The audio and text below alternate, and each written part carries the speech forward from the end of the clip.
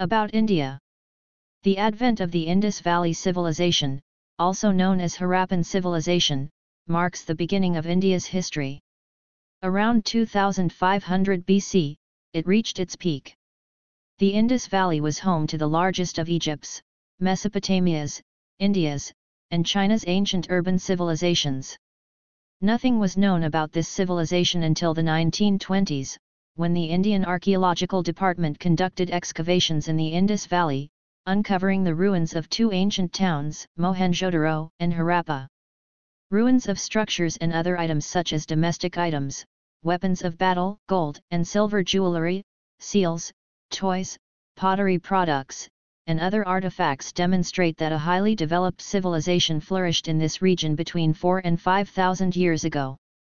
We're excited to show you some of the past and present historical Indian monuments. Please like and subscribe. Agra Fort, Agra. The magnificent 16th century Mughal landmark known as the Red Fort of Agra is located near the Taj Mahal's gardens. The imperial capital of the Mughal kings is contained inside the 2.5 kilometer long enclosure walls of this formidable red sandstone citadel. The fort's intimidating exteriors conceal an inner paradise. The Moti Masjid, a white marble mosque resembling a perfect pearl, Diwan-e-Am, Diwan-e-Khas, Musamman Burj, where Mughal Emperor Shah Jahan died in 1666 AD, Jahangir's palace, Khas Mahal, and Sheesh Mahal are just a few of the magnificent structures. Agra Fort is one of India's few UNESCO World Heritage Sites and an exceptional example of Mughal architecture. The construction of the Agra fort began in 1565, when the Mughal Emperor Akbar built the basic structures, and was later carried over by his grandson Shah Jahan, who added the majority of the marble works to the fort. The fort is crescent-shaped, with a long, nearly straight wall facing the river on the east side. It is surrounded by red sandstone ramparts with twin castellated ramparts and bastions at regular intervals. The outer wall is surrounded by a 9m wide and 10m deep moat. An towering 22-meter high inner wall gives the impression of an impregnable defensive structure. The fort's layout was decided by the stream of the river, which flowed alongside at the time. The main axis is parallel to the river and the walls bridge out towards the city. The primary axis runs parallel to the river, and the walls span the river to the city. The fort had four gates at first, but two of them were eventually sealed up. Visitors are now only permitted to enter through the Amar Singh Gate. As the visitor goes via Amar Singh Gate, the first significant building he sees is Jahangir Mahal. Jahangir was Akbar's son and the Mughal throne's heir. Akbar constructed Jahangir Mahal as a women's apartments.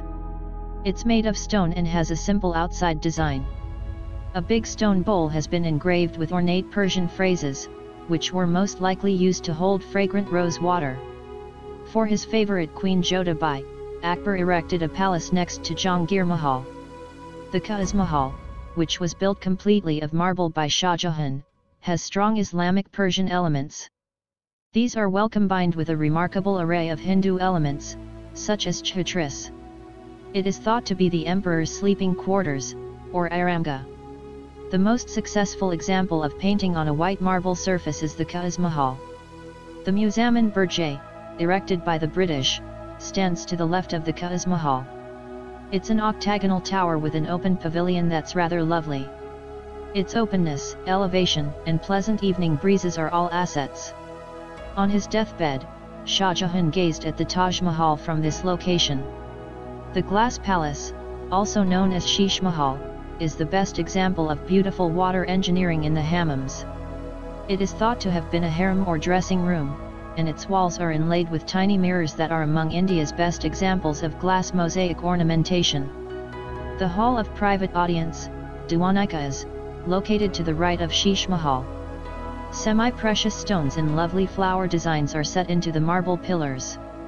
The Mamam-e-Shahi, also known as the Shah Burj, is located nearby and serves as a summer getaway. The iconic peacock throne used to be housed in the Diwan-e-Am, but it was transported to the Red Fort when Shah Jahan moved his headquarters to Delhi. The throne alcove is made of white marble with ornate carvings. The private mosque of the ladies of the court, Nagina Masjid, was built by Shah Jahan. The Pearl Mosque, also known as Moti Masjid, is the most beautiful edifice at Agra Fort. Near Moti Masjid is Mina Masjid, which appears to have been built solely for Shah Jahan's personal usage. Please like and subscribe. Ajanta and Ellora Caves The paintings and sculptures in the caves of Ajanta and Ellora, inspired by Buddhism and its compassionate ethos, began in the 2nd century BC and continued into the 6th century AD, unleashing a rush of artistic excellence unparalleled in human history. These ornately carved Buddhist and Jain caves are serene and meditative, exuding a divine spirit and force. The rock-out caves of Ajanta are located about 107 kilometers from Aurangabad, Maharashtra and are tucked in a panoramic canyon in the shape of a huge horseshoe. Ajanta is a collection of 29 caverns that contain some of the earliest Buddhist buildings, cave paintings, and sculptures. Chaitya halls or shrines devoted to Lord Buddha, as well as viharas or monasteries used by Buddhist monks for meditation and study of Buddhist teachings, are found in these caverns. The paintings that adorn the cave's walls and ceilings portray events from Lord Buddha's life as well as numerous Buddhist divinities. The Jataka tales, depicting many episodes connected to the Buddha's earlier incarnations as Bodhisattva, a holy being destined to become the Buddha, are among the most intriguing paintings. Despite the ravages of time, these intricate sculptures and paintings maintain an amazing grandeur. Sculptures of Buddha, peaceful and quiet in contemplation, are interspersed among the gorgeous imagery and paintings. Ellora's cave temples and monasteries, dug from the vertical face of an escarpment, are located 26 kilometers north of Aurangabad. Sculptors carved beautiful rock engravings influenced by Buddhism, Jainism, and Hinduism. The 34 caves, which run in a straight line, comprise Buddhist chaityas, halls of worship, viharas, monasteries, and Hindu and Jain temples.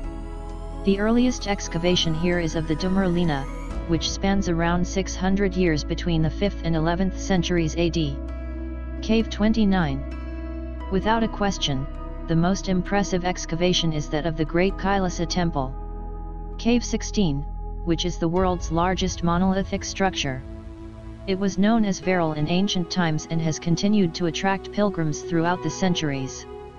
The paintings and sculptures of Ajanta and Ellora, which have been designated as UNESCO World Heritage Sites since 1983 and are considered masterpieces of Buddhist religious art, have had a significant impact on the development of art in India. The cave paintings of Ajanta are one of the high watermarks of artistic inventiveness due to their creative use of color and freedom of expression in depicting human and animal forms. The Ellora has been conserved as an artistic legacy that will inspire and enhance future generations. With its temples dedicated to Buddhism, Hinduism, and Jainism, this cave complex is not only a remarkable aesthetic masterpiece and an excellent example of technological exploit, but it also exemplifies the spirit of tolerance that was characteristic of ancient India. Please like and subscribe. Ajanta is a collection of 29 caverns. Baha'i Temple Delhi a lotus-shaped outline has imprinted itself on the psyche of the city's people in the heart of New Delhi, India's bustling capital, catching their imagination, fueling their curiosity, and revolutionizing the concept of worship. The Baha Mashriqu'l-Adhkar, also known as the Lotus Temple, is a Baha shrine. With the arrival of each new day, an increasing number of tourists flock to its gates to marvel at its beauty and soak up the serenely spiritual atmosphere. Since its dedication to public worship in December 1986, this Indian subcontinent's mother temple has welcomed millions of visitors, making it one of the country's most visited structures. The lotus blossom is unparalleled in Indian iconography as an evocative image of beauty and purity, as well as a symbol of deity. The lotus, which emerges from stagnant water pure and unblemished, signifies God's emergence. This ancient Indian symbol was used to produce a design of ethereal beauty and seeming simplicity, despite the sophisticated geometry that underpins its concrete execution. The Lotus Temple is a stunning blend of ancient notion, modern mechanical prowess, and architectural imagination. Many of the temple's many visitors have been moved by its soothingly calm prayer hall and tranquil environs, prompting them to seek out the temple's inspirational source and capture a piece of its tranquility for themselves. The awe is instilled by the eerie silence that surrounds the hall. Its eloquent stillness and divine atmosphere have moved some. The tranquility and beauty of the Sanctum Sanctorum touch people in different ways. The erection of Bahapur's Baha House of Worship was a key milestone in Baha'i history on the Indian subcontinent. Baha'is have done everything they can to make their places of worship as attractive and distinctive as possible. It not only embodies the worldwide Baha community's spiritual aspirations and core principles, but, more importantly in a land of many religions, it has begun to be recognized as a unifying link, bringing disparate concepts into harmony via its principle of oneness, of God, religion, and mankind. The temple, with its complete lack of idols, provokes both amazement and admiration. Visitors are perplexed by the lack of a deity, but are awestruck by the structure's beauty and majesty. The following is a typical response. The spirit is eloquent, and there is quiet. One has the impression of finally attaining the soul's estate, a state of serenity and peace. The Lotus Temple is one of the century's 100 canonical works, a powerful image of remarkable beauty that has transcended its original function as a gathering place to become a significant architectural symbol. The temple has received honors and worldwide recognition as a symbol of faith and human effort put in the way of God.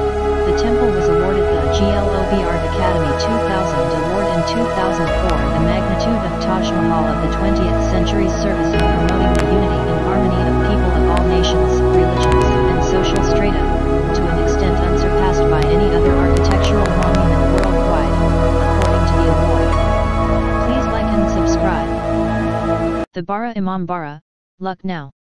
Lucknow, the capital of Uttar Pradesh in northern India, is a contemporary metropolis with wonderful ancient monuments to boast about.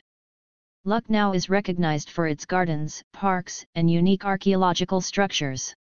It is located on the banks of the Gomti River, a tributary of the Ganga. Lucknow, also known as the Nawab City, has maintained its allure as a haven of culinary and cultural delights. This city's residents are noted for their exquisite elegance, civility, and fluency in Urdu.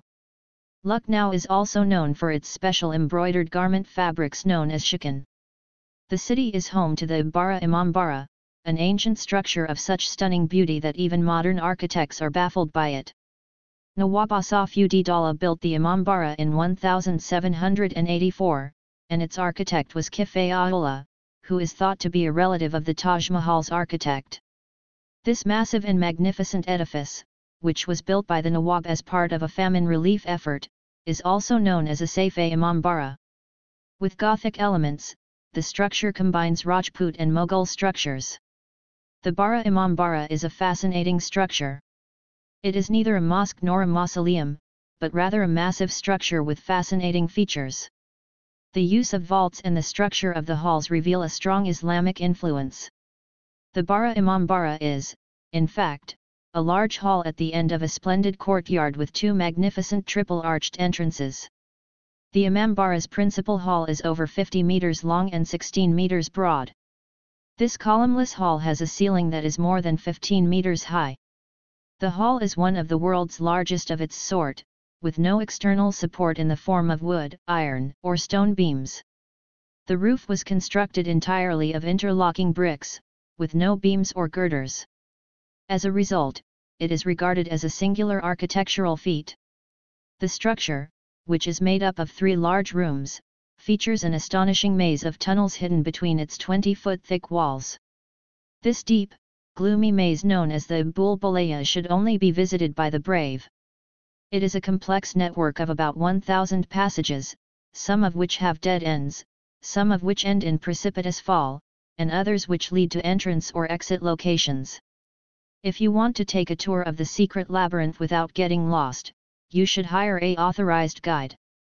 The five-story Baoli, step well, from the pre-Nawabi era is another fascinating building at the Imambara. This Baoli is connected to the river Gomti and is known as the Shahi Hammam, royal bath. Only the first two stories are above water, with the remainder always submerged. Please like and subscribe. Thank you.